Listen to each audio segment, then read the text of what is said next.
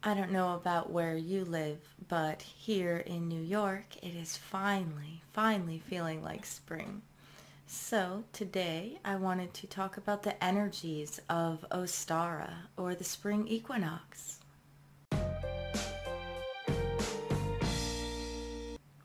Hey tribe, Dawna here from Transformational Healing. And today we're going to talk about the energies of spring or the vernal equinox, the spring equinox, and it's sometimes called Ostara.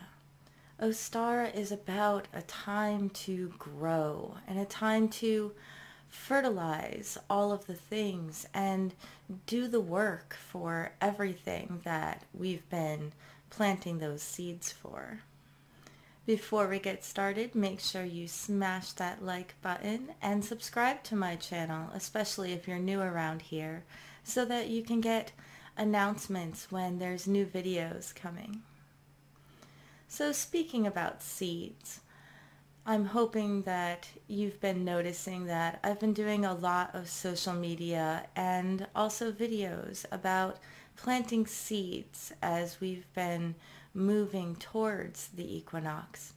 And I have also been trying to plant seeds in you of mindfulness and changing your mindset and trying to get you to realize that you're planting seeds all the time with your thoughts and even whether they're subconscious or whether they're conscious thoughts, the thoughts and things that you think about yourself.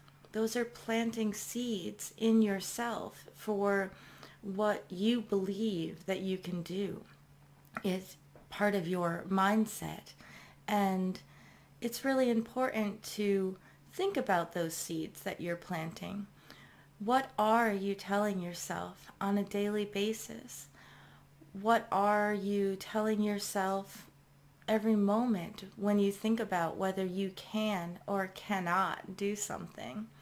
So think about watching some of those videos on mindset and mindfulness again and maybe looking at them with a different view.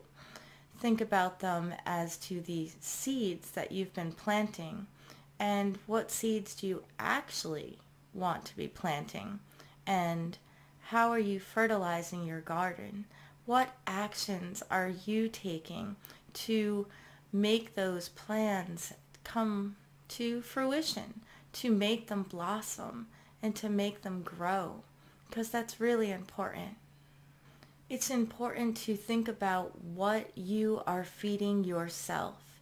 What fertilizer are you giving yourself?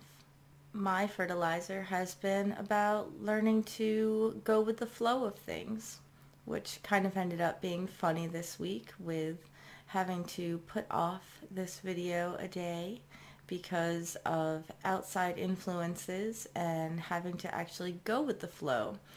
And I know that that's something that I've been working on is being able to just connect and be in with the flow and being okay with that.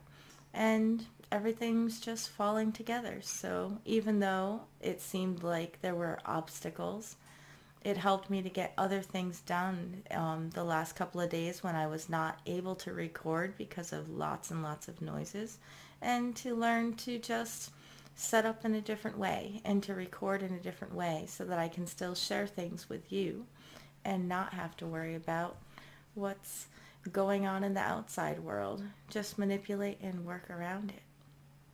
But I also promised you a bit of egg magic this week. But let's talk about real quick, what is magic anyway? I mean, magic is prayer with a punch or it's intention with action. So we're formulating those intentions and having them very clear in our mind. But just because we have the intention doesn't mean that we're actually doing anything to work towards that goal. You have to have the action for that magic to work. So when it comes to egg magic, eggs are about blessings and fertility and bringing things into fruition. and also about bringing blessings and new energy.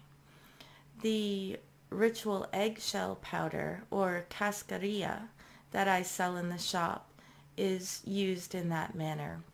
It can be added to a white bath for protection energies and to bring blessings, or it can be put on certain places in the body, typically the top of the head or the back of the neck, the palms of your hands or the soles of your feet for protection. And many people do use it that way. But you can use eggshells in that way as well. So start collecting your eggshells and wash them and let them dry. And then you can use your mortar and pestle to grind them up into a fine powder. That powder can be used for all sorts of things. You can add it to a protection pouch that you're going to carry around with you. You could spread it around your property or spread it around the outside of your house for protection, like some people use black salt for. Or if you want to use it for fertility or fertilization, it is amazing to add to your garden. So start adding eggshells to your garden and when you're planting and when you're working, work on growing those things in yourself as well so it's not just about planting seeds literally in your garden, but it's about planting seeds in yourself and using that eggshell and mixing it in with the soil to also grow things for you. You can actually even take a whole egg. I prefer to use a hard-boiled egg, especially when I do this with the kids around Ostara. They're a little older now and we don't necessarily color eggs and do egg hunts, but a perfect thing to do with the kids for Ostara is to have them or you write on your eggs the things that you want to draw to you. Write what you are trying to manifest and write your intentions on the eggs. And then you can each bury one egg and that's why I said hard boiled is usually better, um, underneath a new seed or a new plant. Or you could put it at the roots of an existing plant, somewhere special in your garden where it can help grow. And as that grows, you're feeding your intention as your new plant grows. So there's lots of ways to use eggs when it comes to magic. So I hope that some of these ideas can help you think about ways that you can make sure that you are building the life that you want, that you are creating a life of balance and fertilizing the right seeds.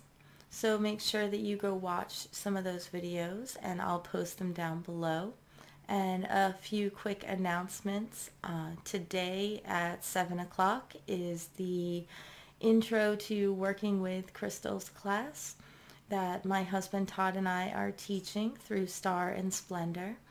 And you have until 5 o'clock today if you wanted to get in last minute on that class. It is $30 for a two plus hour class. And we'll have a question and answer session afterwards and let's see, um, we'll also be giving you a crystal PDF and recording the class as well. So you'll get a copy of the recording later too. Uh, starandsplendor.com is where you will go to find out information on that and I'll also put that down below. But if you're looking for other information for what classes and all the new products that are coming out in the shop, as well as special events and the big sales. I always spoil the people on my email tribe the most. So you should make sure that you join the email tribe. You can find that link below as well. But you would go to transformationalhealingbydawna.com forward slash tribe. And I hope you enjoyed this week's video. Uh, next week we will be talking about herbs for respiratory health or respiratory support. I've had a lot of inquiries over the last couple of weeks of people that are looking with seasonal allergies and with everything else that's going on to be able to just give themselves a little bit of boost and make sure that they're taking care of their upper respiratory system. And so that's what we're going to cover next week. But until then, many blessings, tribe. We'll see you soon.